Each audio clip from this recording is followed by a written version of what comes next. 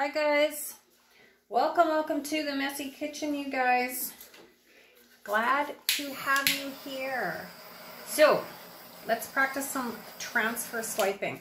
Um, I didn't show you my base coat because it's nothing more than a dirty cup of all my previous pours of today that were complete epic failures, every single one of them.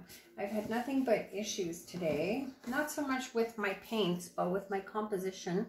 Big gooey bit right there. But with my composition. So I'm going to try to keep things super simple and kind of really crisp, I think.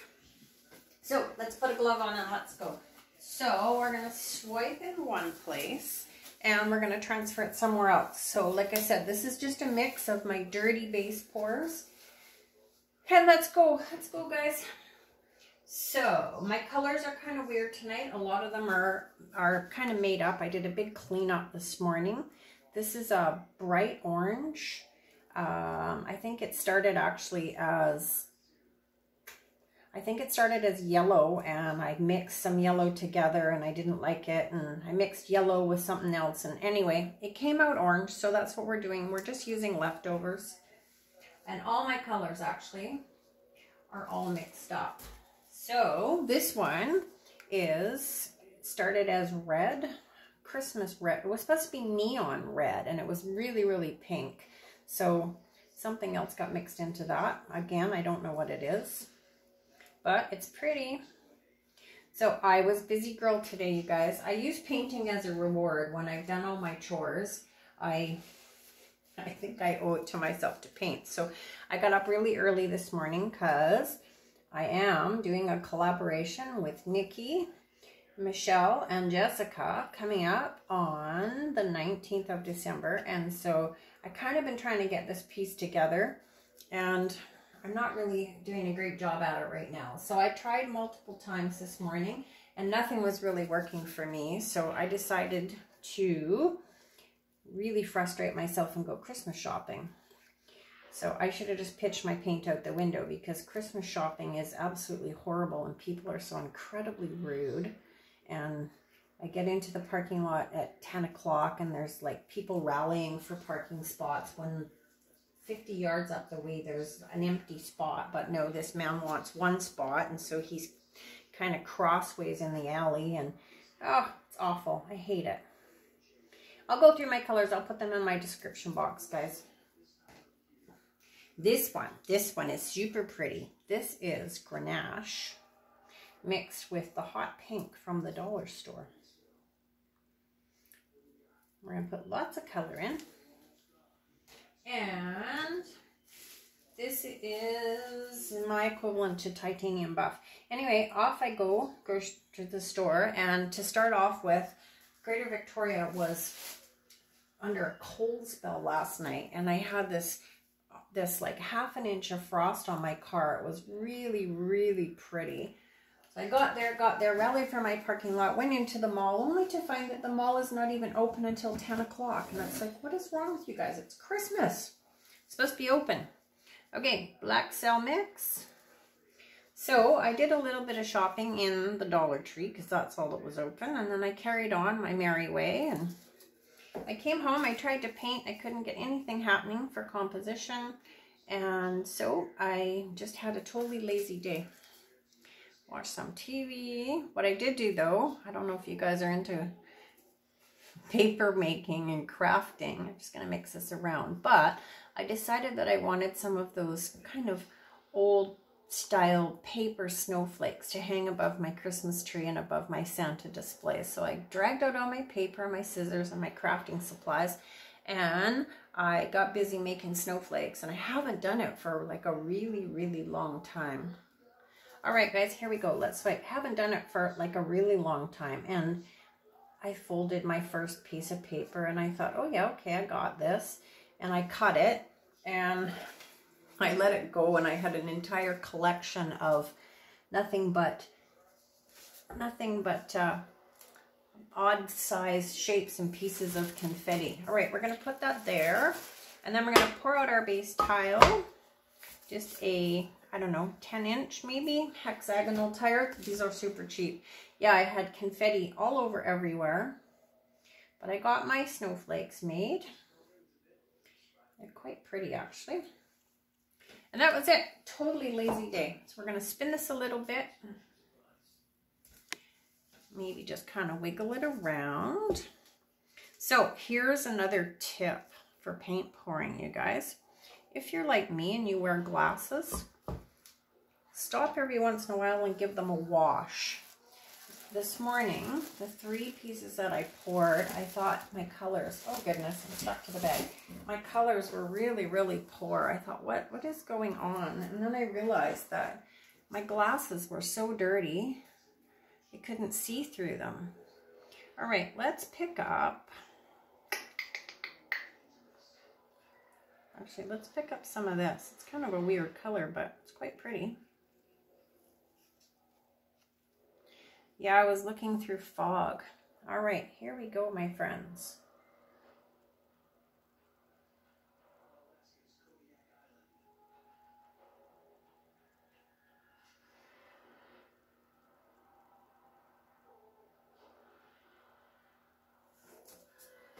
All right, there is one. Not totally fond of that already. And then let's pick up a little bit of these pretty cells in here. I'm going to try not to overkill this.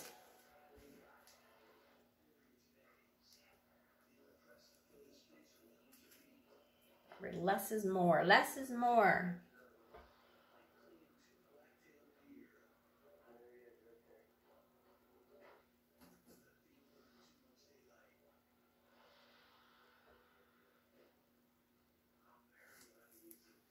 All right, let's put this over here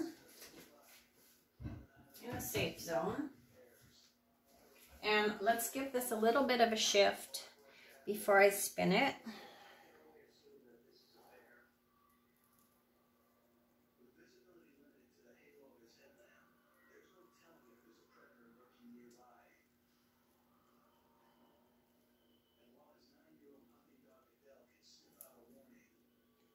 Tip, tip, tip. So I'm trying to learn how much paint these tiles take so that when I spin it, I don't have a colossal mess because this is the most messy technique in the world. And I have more than once splattered paint absolutely everywhere. All right, let's come off of here.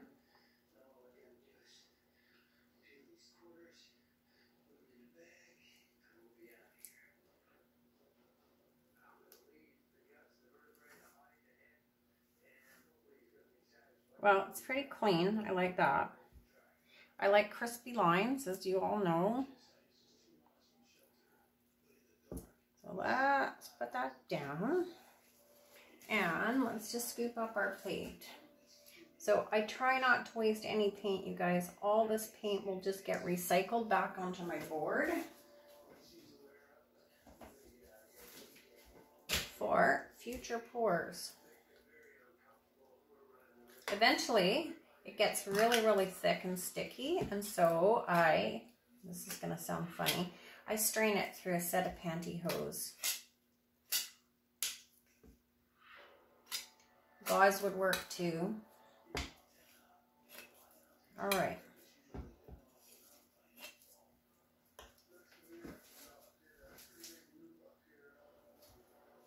Okay, let's give it a spin.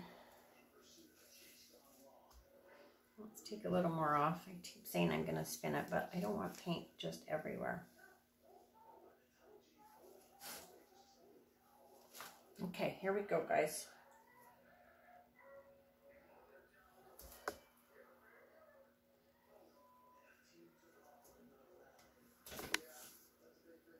So we have some really pretty lines if we want it to modify.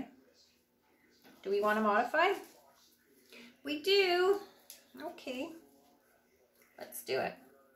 Uh, this is a, I don't know, some sort of fancy tool from, you know where? The dollar store. All right, guys, you're just going to go in like always, making some little lines. Nice and crisp lines. I tried to do this this morning too. Pre-cup of coffee. It wasn't exactly a a winning combination. So now we're just going to go in and pull some of these out. Just little movements. It's all it takes. Don't have to uh, don't have to dig in or do anything really hard. Just gentle movements.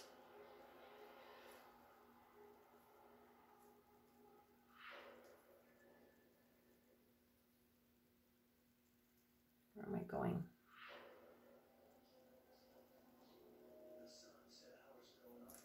See that? We just took out those horrible white freckles.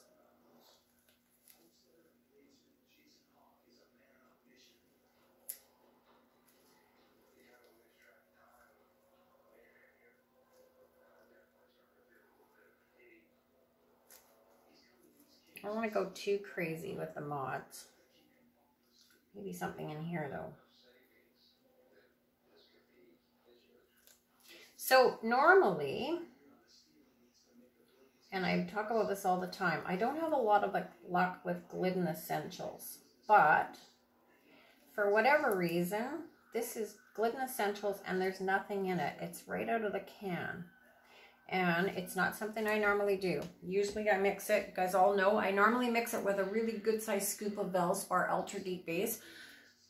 Um, I don't know if it's just, I don't know, but it's working fine. So just right out of the can, Glidden paint.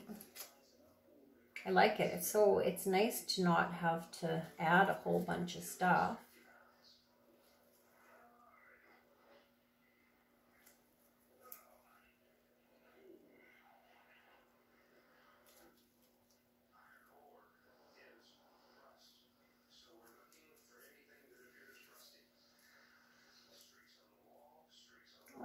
Well, To do a whole lot to this piece. You guys want to make some curly cues? I don't know if we do or not. I think we're just going to leave it like that. We're going to spin it a little bit though, just to expand those lines a tiny bit, as you can see. They definitely expand when you spin.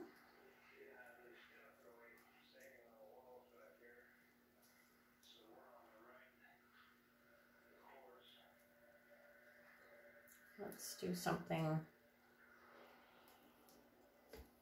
Let's do something in here.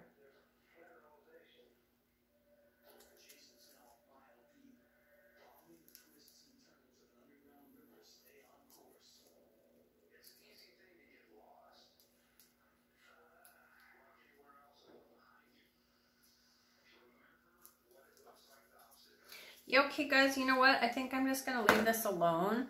Um, I really like crispy, clean lines and negative space, as you all know. Um, I'm not a whole full coverage type gal. Um, I've seen some beautiful pieces that are absolutely full coverage. It's just, it's not for me. It really isn't. So I am going to love you and leave you here. And thank you all so much for joining me in the kitchen tonight. Uh, I appreciate all your support. Each and every one of you makes this all so much more fun. All right, my friends, pour happy, stay safe. We'll talk really, really soon. Bye for now, guys.